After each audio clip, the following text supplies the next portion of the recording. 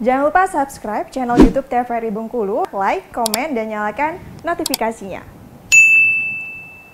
Pasca ditetapkan sebagai tersangka hampir satu tahun lalu, tiga tersangka unsur mantan pimpinan DPRD Kabupaten Seloma hingga kini belum jalani persidangan. Kasus korupsi BBM dan pemeliharaan kendaraan dinas di DPRD Kabupaten Seluma yang telah menetapkan tiga orang unsur mantan pimpinan DPRD Seluma jadi tersangka pada tahun 2021 lalu hingga kini belum jalani persidangan.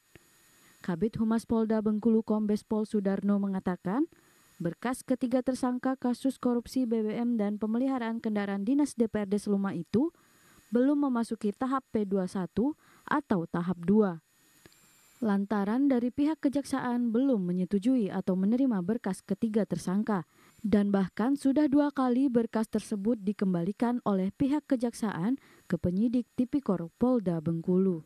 Sudah dikirim dua kali, masih P19 lagi, ini kembali P19 lagi, uh, sudah dua kali. Ya ada petunjuk dari jaksa, ya kita lengkapin.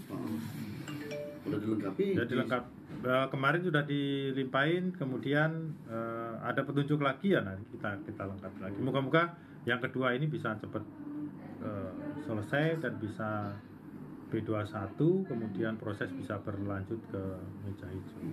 Dalam perkara ini, penyidik Tipikor Polda Bengkulu telah menetapkan tiga orang unsur mantan pimpinan DPRD Selumaja di tersangka, yakni Husni Tamrin, Ulil Umidi, dan Okti Fitriani. Tim Liputan TVRI Bengkulu melaporkan.